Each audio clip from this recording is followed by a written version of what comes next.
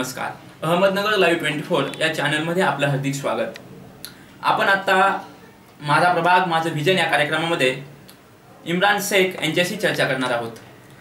नमस्कार सर नमस्कार. सर आपण वार्ड क्रमांक तीन मधून इलेक्शन लढवत आहात. तर सर आपण डॉक्टर आहात. आणि आपलं बॅकग्राऊंडही असं नाहीये की ते डॉक्टर डॉ- राजकारणा संदर्भात आहे. तर आपण राजकारणाकडे कसे आलात? बिस्मिल्ला रहमान रहीम. सर्वप्रथम मी सर तुम्हाला एक गोष्ट सांगू इच्छितो की या प्र प्रभाग क्रमांक तीन मुकुंदनगर या भागातून मी नसून माझी मिसेस डॉक्टर शबनम इम्रान शेख ही उमेदवारी करत आहे. ती काँग्रेस पक्षाची उमेदवार आहे आणि वॉर्ड क्रमांक तीन ब या गटातून तिची उमेदवारी आहे. ज्यावेळेस एक डॉक्टर आपली प्रॅक्टिस करत असतो समाजाचे सुखदुःख जाणत असतो त्यावेळेस त्याच्या लक्षात येतं की समाजाची मुख्य अडचणी काय आहेत? प्रत्येक व्यक्तीच्या घराघरातल्या कौटुंबिक गोष्टी त्या त्याचप्रमाणे त्याची आर्थिक प्र परिस्थिती त्याची सामाजिक परिस्थिती या सगळ्यांची जाण जर कोणाला होत असेल तर तो एक डॉक्टर असतो. तर ज्यावेळेस प्रॅक्टिस करताना गोरगरिबांचे दुःख याच्या सुखात सामील होताना आम्हाला ज्या गोष गोष्टी लक्षात आल्या की मुकुंदनगर भागात जे काही अडचणी आहेत ज्या काही अडचणी आहेत त्याचा सोर्स त्याचं काय म्हणू एक डॉक्टरला सवय असते की कुठलाही आजार जर त्याचं उच्चाटन करायचं आहे तो त्याच्या मुळापर्यंत जातो आधी. तर मुकुंदनगर भागातल्या ज्या ज्या काही अडचणी आहेत त्या अडचणींचा सोर्स कुठं आहे? त्याचं सोर्स ऑफ काय म्हणू आपण इन्फेक्शन हे कुठून आहे? याची जागा शोधण्याचं मूळ शोधण्याचा आम्ही ज्यावेळेस प्रयत्न केला त्यावेळेस आमच्या असं लक्षात आलं की या परिसरात असणाऱ्या लोकांची आर्थिक सामाजिक परिस्थिती ही सगळ्यात अडचणीची आहे आणि तीच त्याच्या सगळ्या विकासाच्या गोष्टीला ज्याला बाधा ठरत आहे. आणि म्हणूनच आम्ही हा निर्णय घेतला की फक्त लोकांचं आरोग्यच न सांभाळता लोकांचं मानसिक शारीरिक आणि सामाजिक आरोग्यसुद्धा सांभाळायची जबाबदारी ही एका डॉक्टरची असते ती आपल्याला पार पाडली पाहिजे. म्हणूनच डॉक्टर शबनम आज राजकारणाच्या क्षेत्रात येत आहे सर एक सुशिक्षित तरुण म्हटलं तर तो राजकारणाकडे येत नाहीये. त्याचं शिक्षण झाल्यानंतर तो आपला व्यवसाय याच गोष्टीकडे जास्त गुंतला जातो. तर आपण राजकारणात आला तर या या लोकांकडे आणि राजकारणाकडे आपण कोणत्या दृष्टिकोनातून पाहता? कसं आहे सर की प्रत्येक व्यक्तीच्या आयुष्यात त्याच्या ठरलेल्या गोष्टी असतात की माझ्या आयुष्याचा गाभा काय आहे मला आयुष्यात काय करायचं आहे काय नाही करायचं आहे तर ज्यावेळेस आम्ही प्रॅक्टिस करतो मी एक साधारण कुटुंबातून एक डॉक्टर होऊन आलो. मी मुस्लिम समाजातला एक साधारण घरात जन्मलेला माणूस आहे. मी आपलं शिक्षण घेताना शिक्षण घेताना ज्या काही अडचणी आल्या त्या अडचणीवर मात करून एक डॉक्टर झालो. मुकुंदनगर सारख्या भागातून यशवंत गाडे या विद्यालयातून मी आपली दहावी उत्तीर्ण केली. तिथं प्रथम येण्याचा मान मी मिळवला. त्यानंतर शालेय शिक्षण असो उच्च माध्यमिक शिक्षण असो त्यानंतर वैद्यकीय शिक्षण असो या सगळ्यांवर अडचणीवर मात करून शिक्षण घेतलं. शिक्षणाचा उपयोग आपण आपल्या समाजातील लोकांसाठी करावा. या दृष्टीने आम्ही मुकुंदनगरमध्येच प्रॅक्टिस सुरू केली. प्रॅक्टिस सुरू केल्यानंतर युनायटेड सिटी हॉस्पिटल म्हणून एक हॉस्पिटल जे एक म- न- नगर शहरातलं नावाजलेलं गायनेट हॉस्पिटल आहे. नगर शहरात सगळ्यात जास्त डिलिव्हरी करणारं हॉस्पिटल युनायटेड सिटी हॉस्पिटल आहे. त्याची सुरुवात आम्ही केली. त्याचं त्याची योग्य यशस्वी वाटचाल आम्ही केली. त्यानंतर सुरभी हॉस्पिटलची स्थापना केली. हे सगळं करत असताना की एक डॉक्टर त्याचे हॉस्पिटल चालवतोय रुग्णांचं आरोग्य सांभाळतोय सगळ्या गोष्टी आहे. परंतु डॉक्टर इम्रान शेख आणि डॉक्टर शबनम शेख यांच्या आयुष्याचा गाभा हा फक्त पैसे कमवणे की यांच्या आयुष्याचा एम हे फक्त पैसे कमवणे हा नाही आहे त्यामुळं आम्ही आवर्जून विचार केला की पैसे तर आपण कमवतोय समाजाची सेवा करतोय पण याच प्रकारे जर राजकारणात येण्याचं जर उद्देश ठेवलं त्यात लोकप्र लोकप्रतिनिधी असो किंवा प्रशासकीय अधिकारी असो ही दोनच लोक असतात की जी लोक त्यांच्या डोक्यात आलेले विचार हे पेपरवर आणि जमिनीवर ते मांडू शकतात. इतर सामान्य माणसाच्या डोक डोक्यात असंख्य विचार येतात पण आचार्य विनोबा भावेंनी ज्याप्रमाणे बोललंय की तुमच्या आचारांना विचारांना जोपर्यंत प्रयत्नाची साथ लाभत नाही तोपर्यंत गवताची काडी सुद्धा हलू शकत नाही.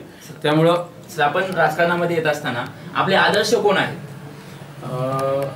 राजकारणात आता ज्या व्यक्तीने मी स्वतः स्पर्धा परीक्षांचा अभ्यास करायचो त्यामुळे शाहू फुले आंबेडकर शिवाजी महाराज या त्यानंतर मोहम्मद पैगंबरांचं जीवनचरित्र ह्या सगळ्या गोष्टी मी वाचलेल्या आहेत. तर ही ही सगळी लोक हे आपल्या आयुष्याच्या ज्यावेळेस आपण यांचं वाचन करतो तर एक सुसंस्कृत माणूस नुसतं वाचनच करत नाही या गोष्टीनं तो आत्मसात करत असतो. आणि कुराण शरीफची शिकवण आहे की तुम्ही समाजाचं देणं लागता. तुमचं आयुष्य हे फक्त स्वतःसाठी नसून तुमचं आयुष्य हे समाजासाठी आहे हे कुराण शरीफची तुम्हाला शिकवण आहे. या शिकवणी शिकवणीमुळेच मी विचार केला आणि मी या क्षेत्रात पदार्पण करत तर आपण डॉक्टर म्हणून जेव्हा काम करता आपल्या प्रभागामध्ये आहात तर प्रत्येक व्यक्ती आपल्याशी जोडलेला आहे. तर आपल्या प्रभागामध्ये अशा कोणत्या समस्या आहेत ज्या आपण आता पुढे सोडवणार आहात? हे पहा मुकुंदनगर हा भाग सर्वात महत्त्वाचं. रस्ते पाणी वीज या गोष्टी तर महत्त्वाच्या आहेतच आहेत. रस्त्यांच्या अडचणी असो पाण्याची अडचणी असो पाण्याची वेळ वेळ अवेळी येणं असो त्यानंतर पाण्याचं योग्य नियोजन असो त्यानंतर रस्त्यांचं योग्य नियोजन असतो डांबरीकरणापासून तर रस्ते बनवण्यापर्यंत सगळ्या गोष्टी असो या गोष्टी तर तिथं अडचणी आहेतच आहेत. परंतु सगळ्यात महत्त्वाची अडचण आहे तिथं की लोकप्रतिनिधी असे हवेत की ज्यांना एक व्हिजन हवे. ज्यांना एक व्हिजन हवं. भारतातलं साठ वर्षापासूनचं राजकारण हे रस्ते पाणी आणि वीज याच गोष्टीवर चालू आहे. पण माझी आता वैयक्तिक इच्छा आहे की गल्ली सुधारली तर दिल्ली सुधारेल.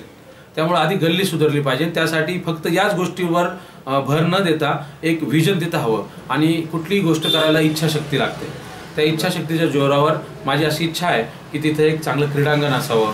तिथं क्रीडांगण असेल तर त्या मुलांसाठी तिथं फार चांगले खेळाडू आहेत.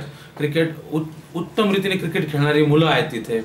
उत्तम रीतीने फुटबॉल खेळणारी मु- मुलं आहेत. परंतु या मुलांना एक योग्य मार्गदर्शन नाही आहे त्यांच्यासाठी एक स्पोर्ट्स अकॅडमी असावी. त्यांच्यासाठी एखादी मैदान असावं. त्याचबरोबर त्या ठिकाणी स्पर्धा परीक्षांचा अभ्यास करणारी बहुतांश मुलं माझ्या ओळखीची आहेत. पन्नास ते साठ विद्यार्थी आजपर्यंत तिथं सिलेक्ट झालेले आहेत. शंभर दीडशे विद्यार्थी आज स्पर्धा परीक्षेचा अभ्यास करतायत. परंतु पन्नास साठ हजार लोकसंख्या असलेल्या लोकवस्तीमध्ये एकसुद्धा लायब्ररी नाही. ही एक खंत आहे. तिथे एक लायब्ररी असावी. तिथे धार्मिक असो सामाजिक असो सगळ्या दृष्टीचा अभ्यास तिथे करता यावा. त्याबरोबर स्पर्धा परीक्षा मार्गदर्शन केंद्र असावं. याच परीनं तिथे सगळ्यात महत्त्वाची अडचण आहे की शिक्षणाप्रती लोकांचं असलेलं प्रेम किंवा लोकांमध्ये तयार करायची जागृती हा एक मोठा विषय आहे तिथे. शिक्षणाबद्दल ज्यांना अडचणी आहेत ज्यांनी शिक्षण घेतलं आहे त्यांचा बेरोजगारीचा प्रश्न आहे. मग त्यांना महानगरपालिकेच्या वेगवेगळ्या स्कीम्स याची माहिती द्यावी. त्या लोकांना तिथं मार्गदर्शन करावं. ज्यांना लघुउद्योग करतात ज्या महिला मोठ हा मुकुंदनगर हा भाग बहुतांश मेहनत करणारे मोलमजुरी करणारे रोजीरोटी आपली सकाळी जाऊन दिवसभर रोजीरोटी कमावणारे आणि संध्याकाळी घरी घेऊन येणारे असा जास्त भाग असं काम करणारा वर्ग मुकुंदनगर भागात आहे. आणि मला असं वाटतं या लोकांना योग्य मार्गदर्शन केलं या लोकांना योग्य शिक्षण दिलं या लोकांना त्यांची एनर्जी योग्य प्रवाहात तुम्ही घेतली तर ही लोकंसुद्धा समाजाच्या मुख्य प्रवाहात जोडली जातील. समाजाच्या मुख्य प्रवाहात जोडली जातील तर त्यांची स्वतःची वैयक्तिक सामाजिक आर्थिक उन्नती होईल. सर एक पालिका म्हणून जेव्हा कार्य करते महानगरपालिका तर डॉक्टर म्हणून आपल्याकडे जे पेशंट येतात मग असं तुम्हाला वाटतं की काही पालिकेच्या काही कारणांमुळे यांना आजार जडले जातात किंवा अस्वच्छता असेल अस्वच्छतेचा प्रश्न आहेच असे कोणते कारण आहेत की ज्यामुळे ते आजारी पडतात आणि ते पालिकेने केल्यामुळे त्यांचा पैसा आणि वेळ हा दोन्ही वाचू शकतो? सर्वात महत्त्वाचं की राय आरोग्याचा जो विषय आहे की बघा मुकुंदनगर हा प्रभाग कंजस्टेड म्हणून अतिशय दाट लोकवस्ती असलेला नगर शहराचा हा प्रभाग आहे. इथे जवळजवळ घरं आहेत भरपूर लोकसंख्या राहते. लोक आपल्या आपल्या परीनं स्वच्छता ठेवण्याचा प्रयत्न करतात परंतु सामाजिक स्वच्छता जी ठेवण्याचा जो एक उपक्रम महानगरपालिकेच्या मार्फत होण्या हो, व्हायला हवा तो त्याचा अभाव मला दिसतो. जसे की शंभर दीडशे दोनशे लोकांच्या एका कॉलनीसाठी किंवा शंभर दीडशे घरांच्या एका कॉलनीसाठी ज्यावेळेस एक कचऱ्याचं कंटेनर ठेवलं जातं ते कंटेनर एवढं छोटं असतं की ते शंभर लोकांच्या दीडशे लोकांच्या घरांचं घरच्यांसाठी ते अपुरं पडतं. ज्यावेळेस ते दहा कचऱ्याच्या पिशव्या किंवा कचरा तिथं टाकला जातो ते लगेच भरतं. मग लोक काय करतात? बाहेरूनच त्याच्यावर निशाणा फेकतात आणि ते कचरा त्यात टाकायचा प्रयत्न करतात. मोकळी जागा असेल तर त्या मोकळ्या जागेमध्ये पण टाकला जातो. मोकळ्या टाकीत जातात. शेवटी काय आहे की तुम्हाला लोकांना सुविधा द्याव्या लागतील लोकांना तुम्हाला प्रशिक्षित करावं लागेल लोकांना तुम्हाला गाईड करावं लागेल. तुम्हाला स्वच्छता ठेवणे हा जरी वैयक्तिक प्रश्न असला तरी त्या- तुम्हाला त्यासाठी लोकांचा सहभाग घेणे सुद्धा महत्वाचं आहे. आपण आता सुशिक्षित म्हणजे शाळेत मुलं कमी शिकतायत. असे बोललात. तर त्या मुलांना शिक्षणाविषयी प्रेम जागृत करण्यासाठी तुम्ही काय करणार आहात? नाही सर्वात महत्वाचं की मला एक बघा आपण पूर्ण इलेक्शन कॅम्पेन मै मुकुंद नगरकर या नावाने चालू केलंय. आणि आपलं घर हे छपराचं का असाना पण त्याचा प्रत्येक व्यक्तीला अभिमान असतो. तीस ते पस्तीस वर्षापासून आम्ही मुकुंदनगर भागात राहतोय.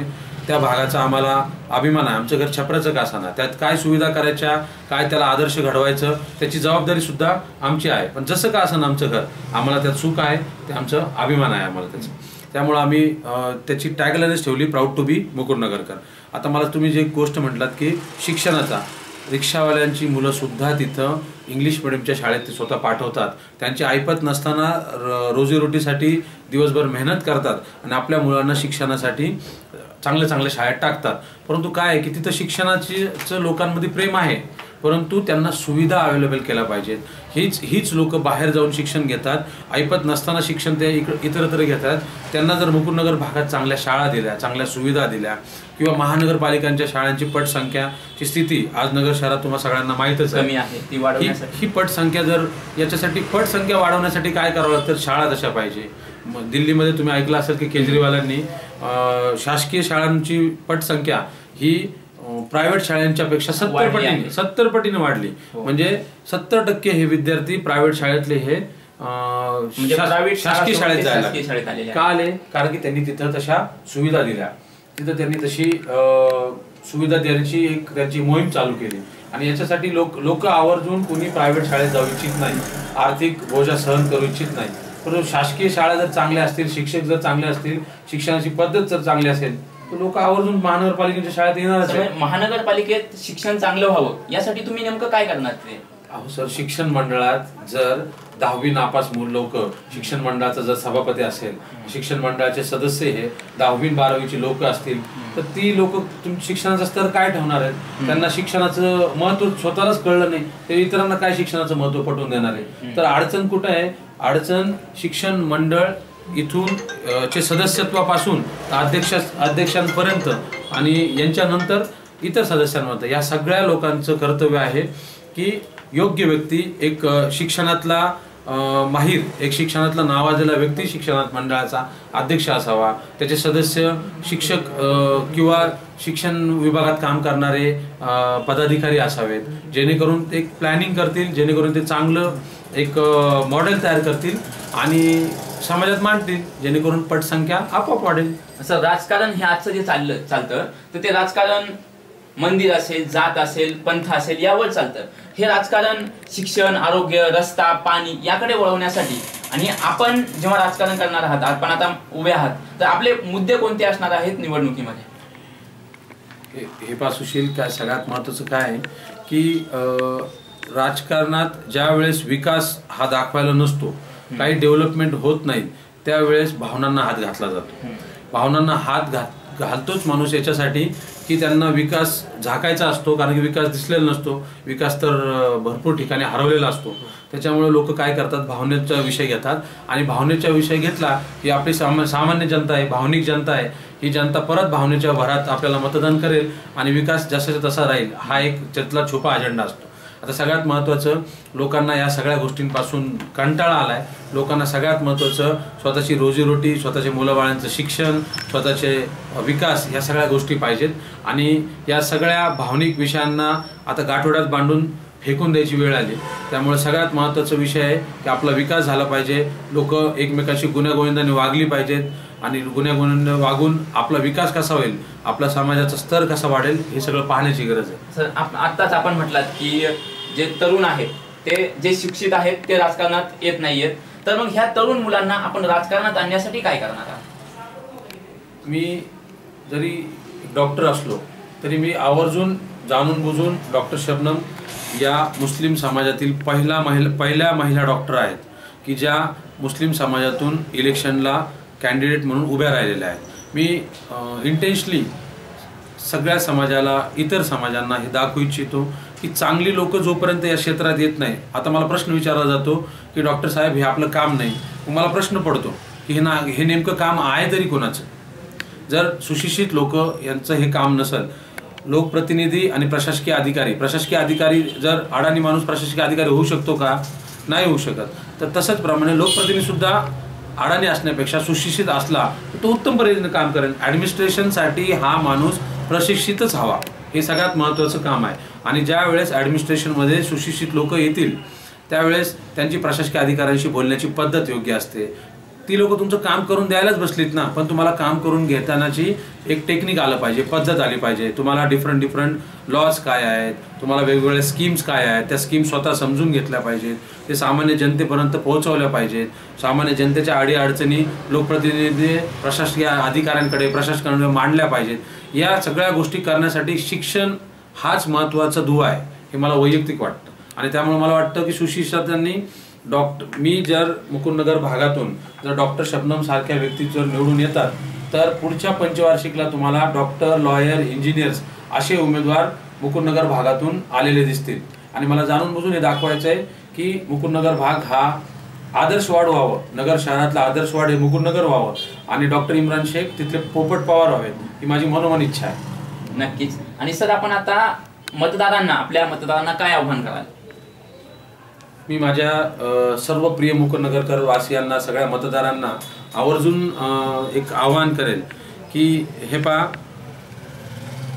आयुष्यात फक्त पैसा कमावणे हा कुठल्याही सुशिक्षित माणसाचा किंवा कुठल्याही माणसाचा हा हेतू नसावा.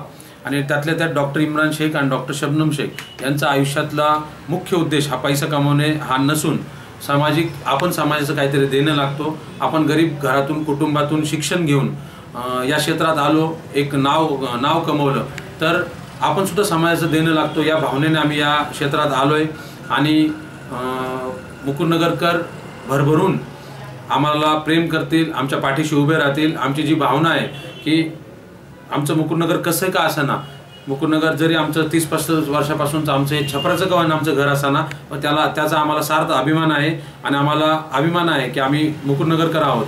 त्याच्यात काय सुधारणा करायच्यात काय त्याच्या त्रुटी आहेत त्याचा हक्क आम आमच्याकडं आहे आणि आम्ही तो त्या त्रुटी त्या सुधारणा नक्की करू.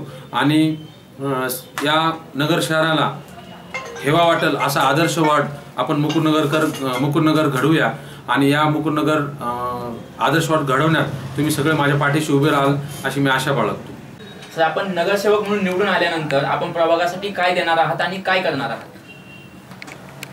सगळ्यात महत्त्वाचं मुकुंदनगर भागात सर्व महिलांना सर्व लोकांना आपला आठवड्यातला बाजार हा खरेदी करण्यासाठी मिस्किन मळा असो मंगलगेट असो या ठिकाणी बाजारात जावं लागतं. तर माझी वैयक्तिक इच्छा आहे की मुकुंदनगर भागात एक आठवडे बाजार सुरू व्हावा. त्याचप्रमाणे मुकुंदनगर भागातली तरुणांना आपला उद्योग वाढवण्यासाठी आपला व्यवसाय चालू करण्यासाठी या लोकांना बँका लोनसुद्धा देत नाहीत. फक्त आणि फक्त ते मुकुंदनगरकर आहेत या कारणास्तव. तर माझी मनोमन इच्छा आहे एका चांगल्या नॅशनलाइज बँकेची शाखा ही मुकुंदनगर भागात सुरू व्हावी आणि ती शाखा एवढी भरभरून लोकांनी तिला प्रतिसाद द्यावा ती चालावी. आणि त्या शाखेने लोकांना उद्योगासाठी लोकांना व्यवसायासाठी मदत करावी. आणि जेणेकरून त्या लोकांच्या व्यवसाय वाढीसाठी एक तो चांगला प्रयत्न राहील. त्याचप्रमाणे बाग बगीचांचा एक मोठा विषय आहे.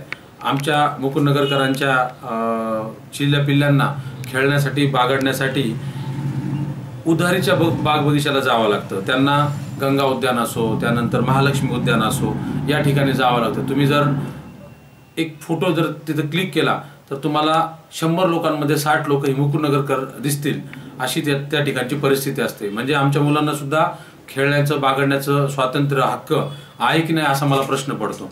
या त्यांचं हक्काचं त्यांना एक क्रीडांगण किंवा हक्काचं त्यांना एक बाग बगीचा असावा आणि तो करण्याचा एक माझा मानस असेल. त्याचप्रमाणे क्रीडांगणाचा जो विषय आहे की मुकुंदनगर भागातून विविध खेळात निपुण असलेल्या लोकांची संख्या फार आहे. विद्यार्थी असो मुलं असो प्र भरपूर खेळात चांगलं आपलं नगर शहरात नगर जिल्ह्यात खेळाचं प्रदर्शन करतात. तर मला अशी इच्छा आहे की त्या लोकांना खेळण्यासाठी त्यांना दररोज प्रॅक्टिस करण्यासाठी एक क्रीडांगण असावं. त्या क्रीडांगणाच्या शेजारी एक अकॅडमी असावी. एक महानगरपालिकेच्या अखत्यारीत किंवा एक सामाजिक संस्थांच्या अखत्यारीत एखादी जर ही असेल अकॅडमी असेल तर ती अकॅडमी त्या लोकांना त्या खेळात पारंगत कसं व्हावं त्याचं प्रशिक्षण कसं द्यावं यासाठी त्यांना मदत करेल. त्याचप्रमाणे या क्रीडांगणावर आता बेरोजगारीचा मोठा प्रश्न आहे. मुकुंदनगरमध्ये भरपूर मुकुंदनगरच नाही नगर जिल्हा असो नगर शहर असो महाराष्ट्र असो भारतात बेरोजगारीचा मोठा प्रश्न आहे. तर या क्रीडांगणांचा उपयोग या मुलांना पोलीस भरती असो सैन्य भरती असो याच्यासाठी लागणारी जी फिजिकल ट्रेनिंग आहे त्या ट्रेनिंगसाठी सुद्धा त्या क्रीडांगणांचा वापर करता या- करता येईल. जेणेकरून मुकुंदनगर मधली भरपूर मुले ही पोलीस भरती सैन्य भरतीत जाऊन आपल्या देशासाठी आपल्या महाराष्ट्रासाठी देशासाठी एक नाव कमवतील असे एक त्या ठिकाणी आपण वातावरण तयार करू. त्याचप्रमाणे अभ्यासिकेचा विषय आहे. जर आता स्पर्धा ही भरपूर वाढलेली आहे. तर स्पर्धा परीक्षा मार्गदर्शन केंद्र असावं एखादी अभ्यासिका असावी एखादी लायब्ररी असावी हे पा थिंक टँक जे बनतात चांगल्या विचाराची जी लोकं येतात ती ही तुम्हाला पुस्तकातून पुस्तक वाचून याच्यातूनच एक वैचारिकता तयार होते. माणूस सर्व माणसाचा सर्वांगीण विकास त्याच वेळेस घडतो ज्यावेळेस ते स्वतः वाचन करतात आणि वाचनातून माणूस घडत चालतो. म्हणून ही माणसं जर घडवायची असेल नॉट थिंग्स बट मेन हे जर गोष्ट करायची असेल तुम्हाला जर माणसं घडवायची असेल तर तुम्हाला त्यांना लायब्ररीत न्यावं लागेल त्यांना अभ्यासिकेत न्यावं लागेल तुम्हाला अभ्यासिका द्यावी लागेल लायब्ररीत द्यावी लागेल. त्याचप्रमाणे कचरा आरोग्य या ज्या गोष्टी आहेत कचऱ्याच्या समस्या मुकुटनगरमध्ये फार आहेत. योग्य कंटेनर द्यावेत योग्य वेळी कचरा गाड्या याव्यात घंटा गाड्या याव्यात त्यांची वेळ योग्य असावी. आणि थोडंसं कामाची पद्धत ही कॉर्पोरेट असावी. दररोज येणारी गोष्ट आहे ती योग्य वेळेवर यावी. लोकांना लोकांना त्याबद्दल प्रशिक्षित करावं लोकांना बी. लोकांना मेसेजेस द्यावेत की बाबा अमुक कॉलनीच्या मध्ये घंटा गाडी येण्याची वेळ ही फिक्स असेल. त्या लोकांनी वेळेवर यावं लोकांनी वेळेवर कचरा टाका. छोट्या छोट्या गोष्टी आहेत त्याच्यावर आपल्याला काम करायचं भरपूर काम करायचं आहे. आणखीन एक गोष्ट आहे लोडशेडिंगचा एक मोठा प्रश्न आहे. त्यानंतर वेळेवर पाण्याचा एक प्रश्न आहे. वेळेवर पाणी मुकुंदनगरमध्ये सुटत नाहीत अडीच अडीच वाजता रात्रीच्या तीन तीन वाजता महिलांना पाणी भरावं लागतं. या या गोष्टींमुळे त्यांची व्यवस्थित झोप होत नाही. याचा परिणाम त्यांच्या आरोग्यावर होतो. आरोग्यावर परिणाम झाला तर लोक आजारी पडतात. आजारी पडल्यानंतर दवाखान्यांमध्ये लोकांचे पैसे जातात. त्यांची आर्थिक परिस्थिती बिघडते. सगळ्याच गोष्टी ढासळत चालतात. तर एवढ्याच वेळ अवेळी पाणी सु सुटणे या गोष्टीमुळे सुद्धा आजारपण बळावतं. म्हणजे प्रत्येक गोष्टीचा इम्पॅक्ट तुमच्या आयुष्यावर होत असतो. त्यामुळे त्या छोट्या छोट्या गोष्टीसुद्धा महत्त्वाच्या आहेत. लोड शेडिंगचा जो प्रश्न बोललो त्या लोड शेडिंगमध्ये जाणून बुजून मुकुंदनगर भागातील जी- काही लोक आहेत जी आपलं बिल भरतात आपले पैसे भरतात सगळ्या गोष्टी करतात. परंतु शहरात जरी दोन तास लोड शेडिंग असेल तर मुकुंदनगरमध्ये चार तास लोडिंग शेडिंग होतं. तर थोडासा लोड शेडिंगचा जास्त भार हा मुकुंदनगरकरांना उचलावा लागतो. तो भार उचलण्याची काही गरज नाही मला असे वाटते. म्हणून हा एक मोठा प्रश्न नगर शहरात आणि मुकुंदनगर भागात आहे. त्याच्यावर सुद्धा काम करायची आपली इच्छा आहे. धन्यवाद सर. आपण आमच्या कार्यक्रमामध्ये आलात त्याबद्दल. आपण आता पुढे भेटणार आहोत. माझा प्रभाग माझं विजन या कार्यक्रमात. तोपर्यंत नमस्कार.